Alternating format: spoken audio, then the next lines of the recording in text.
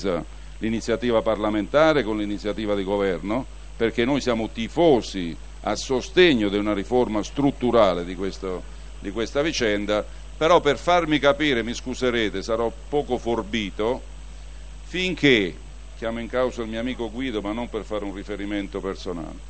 finché l'amministratore delegato dell'azienda, ATAC, faccio un esempio che non è riferito a ATAC, dell'azienda Pinco Pallo, non è libero di portare in tribunale perché non riceve le, i soldi che, dal contratto di servizio il l'ente che lo ha nominato,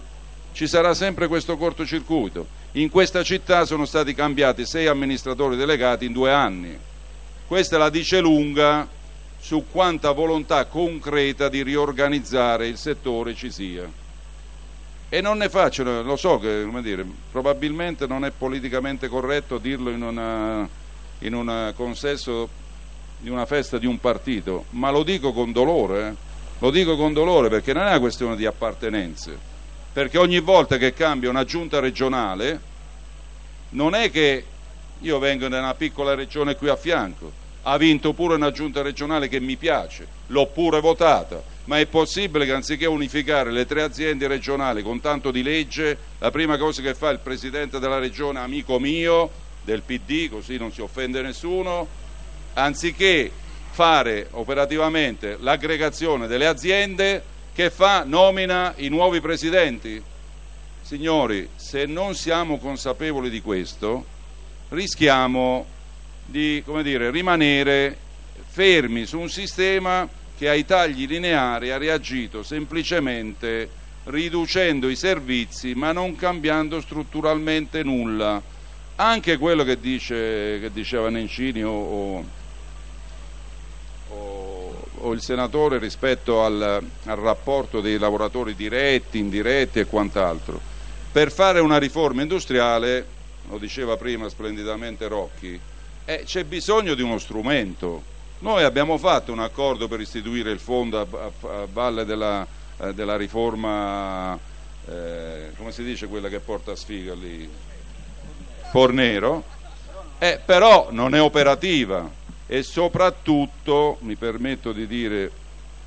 noi se dobbiamo fare una riforma strutturale dobbiamo capire che dobbiamo gestire degli esuberi.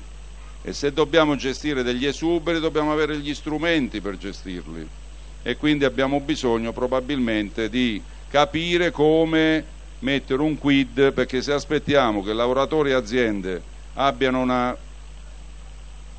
sufficiente dotazione per gestire quel fondo il trasporto pubblico locale già sconocchiato. Grazie a Giovanni Luciano e adesso noi iniziamo un secondo giro eh, sempre tenendo conto di, dei limiti di, di, tempo e approfondiamo un po' qualche, qualche, qualche, argomento di quelli che sono venuti all'evidenza. Eh, acclarata la, la strategicità del eh, trasporto pubblico locale e eh,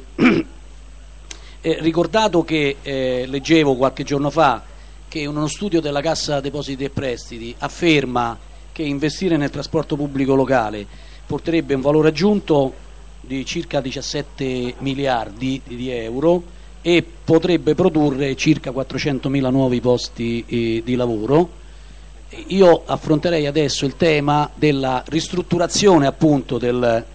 del eh, trasporto locale de, del trasporto locale e il tema appunto della struttura delle aziende di esercizio di questo, di questo servizio. Io eh, inizierei da Marco Filippi per poi eh, proseguire.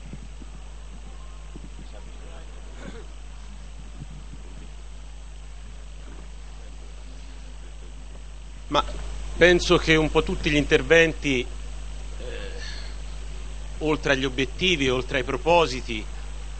hanno evidenziato una necessità che gli obiettivi e i propositi auspicati possono essere raggiunti non dico solo nella misura, ma anche nella misura diciamo, si, eh, diciamo, si attiva un processo di trasformazione profonda delle aziende, che è l'elemento che richiamava Tanzilli. Allora, io credo che in primo luogo va rivendicato che anche il trasporto pubblico locale, oltre a un valore sociale, a un valore ambientale, a un valore economico rilevante, ha anche un valore industriale altrettanto significativo. In un momento di crisi come questa, probabilmente investire, ora non so se i numeri che davi Alberto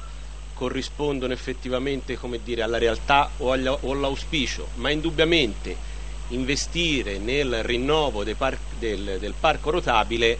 oltre che rappresentare una necessità per ammodernare la flotta, indubbiamente è una di quelle misure anticicliche che indubbiamente fa bene al Paese,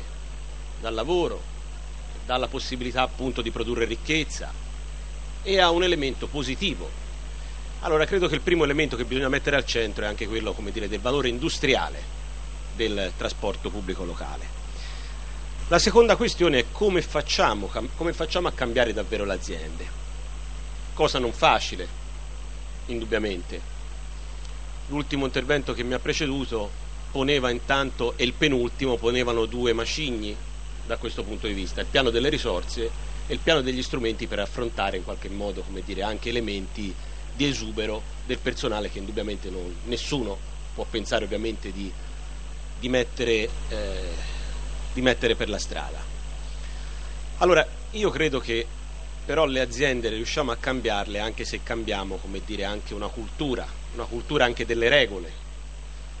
Io penso che uno degli elementi centrali non può che non essere costituito anche dalla centralità delle gare con cui andiamo ad affidare i servizi. Lo dico perché fino ad oggi vivendolo anche in prima persona, nella precedente esperienza ero assessore, facevo lo stesso lavoro appunto di, di Improta nella, in una città di medie dimensioni e la cosa come dire, caratteristica delle gare delle aziende di trasporto era come dire, il livello di apprensione, l'elemento come dire, ansiogeno che in qualche modo veniva scandito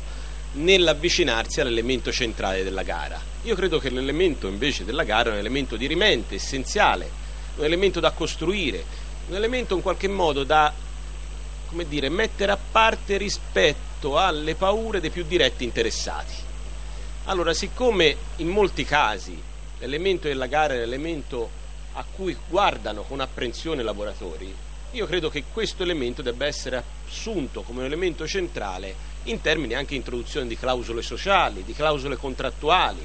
cioè l'elemento della gara deve essere un elemento effettivo di apertura al mercato, di effettivo cambiamento del management,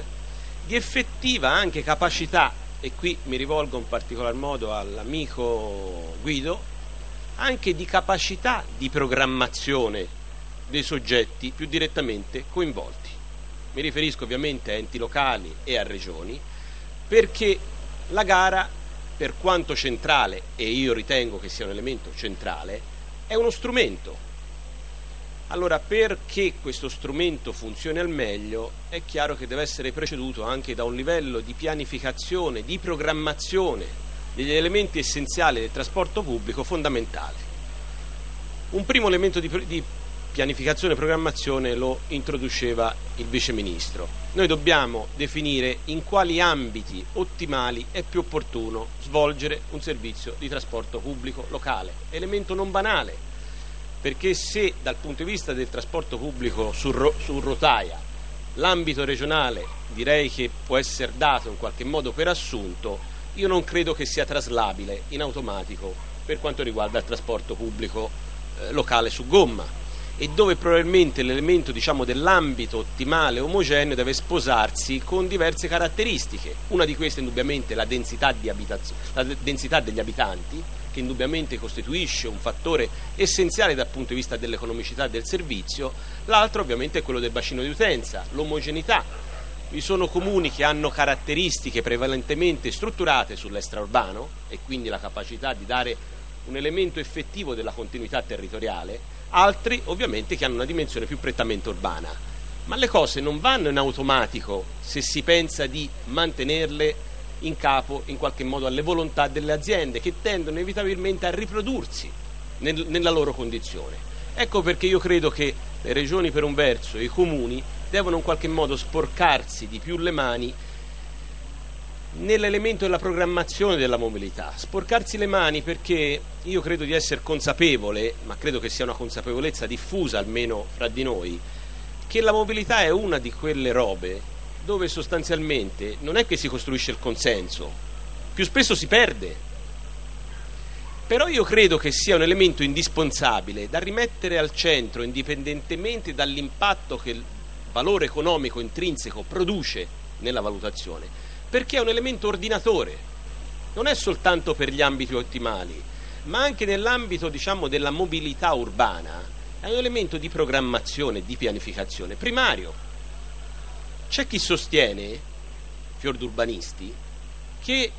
la principale azione di pianificazione urbanistica è proprio da come si rilegge, si rinterpreta e si riscrive i percorsi della mobilità.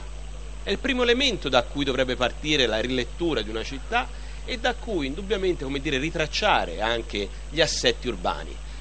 Allora io non so se a Roma, nelle medie grandi città, si verifica quello che si verifica purtroppo nelle piccole e medie, dove per esperienza diretta avverto che le linee di mobilità, le linee di trasporto, i servizi, spesso sono identici a 20-30 anni fa. E quando invece da 20-30 anni non è che è cambiato il mondo, ma sono cambiati le espansioni urbanistiche, è cambiato anche la dinamica della mobilità delle singole persone. Allora io credo che un primo sforzo, la prima capacità in qualche modo per affinare intanto suoni, perché eh, vedete io non sono preoccupato delle iniziative parlamentari che abbiamo assunto, con Michele più o meno separatamente che più o meno convergano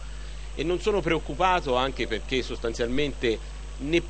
non è soltanto diciamo, il livello di intesa e di sintonia che stiamo dimostrando ma che ovviamente do per scontato ma è la capacità soprattutto da parte del governo nella capacità in qualche modo dire di dare un quadro di necessità per tutti. Allora non è tanto il disegno di legge presentato ma è la capacità sul disegno di legge delega aggregare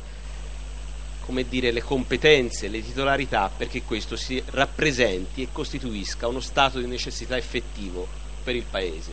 Di questo io confido ovviamente nel lavoro che il Ministero sta sviluppando anche su altri settori, nella capacità in qualche modo, ora concertazione è passato di moda,